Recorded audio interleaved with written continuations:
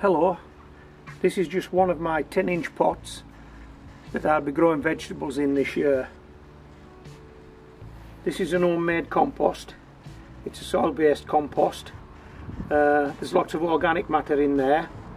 Uh, and I'm going to do a quick um, pH test. Okay, the experts tell us that potatoes like to grow between 5 and 7, a pH of 5 and 7. Um, I've got a, a soil test meter here, a pH meter, and I'm going to test this pH. Now ideally we want to be, uh, we want to have an acidic mix in this pot and we want it to be, I don't know, between four and a half, six would be nice. Anywhere in that range would be nice.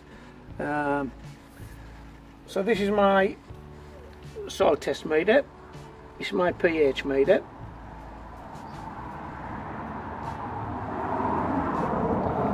And it, it initially sets out at 7 which is uh, which is a neutral position. And then if it goes up if the number goes up what's in this pot's alkaline? Um, if the number goes down what's in this pot's acidic? Okay let's see which way it goes. Oh it's shot down. 4 it's down to 4 3.5 it's actually registering low. Blimey let's clean this off Try it again.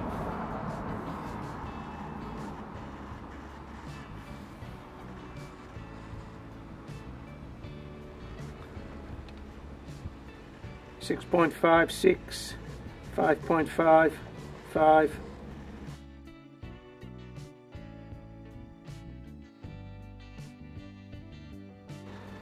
So that's a pH of 5.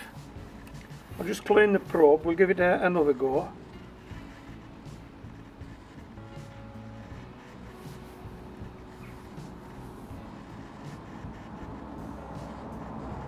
I hope you can see this sometimes the light reflects from the back from the face of the pH meter. Becomes like a mirror. You don't actually see anything. That's why I'm not pointing it directly at the camera. Right well let's drop to 5 again. 4.5 okay 4.5 and 5 that's two readings. Let's try this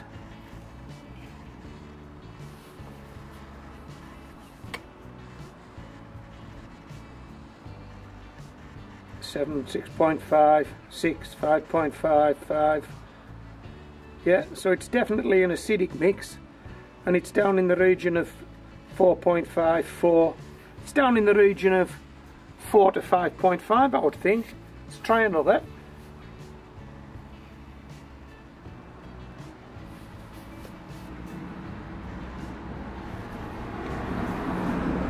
While this is settling out, let me tell you a tale. Um, I was down the seashore uh, earlier this week.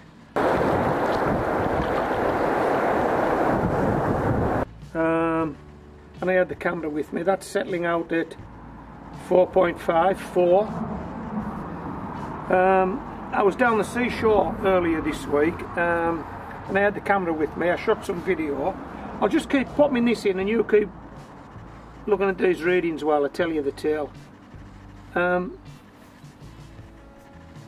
yeah and I shot some video and uh, it was a video of um, two little birds on a rock. Okay. And the rock was in the Irish Sea. And on that particular day the Irish Sea was very rough. Uh, there was waves crashing all around. Uh, tide was coming in and the water was getting deep around these two little birds um, perched on this rock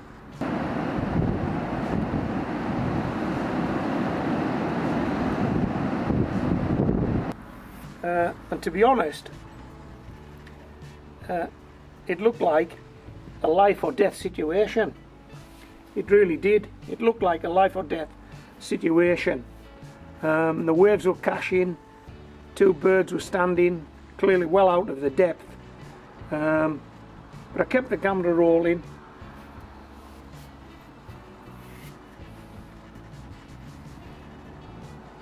The birds were clearly out of the depth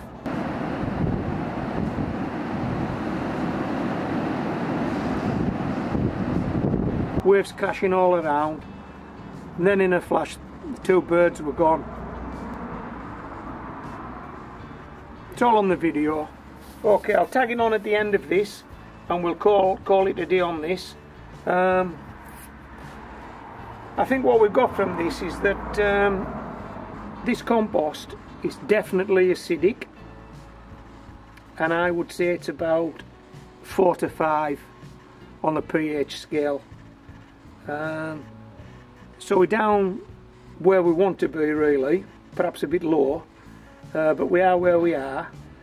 If I'd wanted to um, raise the pH of this compost I'll do that by adding lime. Um, but it's, it's clearly too late in the year now. That's something that needs to be done in autumn. Um, if I added lime now it's something you just don't do when you're planting potatoes. Uh, you don't add lime you add lime in the winter months uh, to modify your pH. So it's too late for this year um, but at the back end of this growing season uh, we'll add some lime uh, to this compost because I will be recycling it.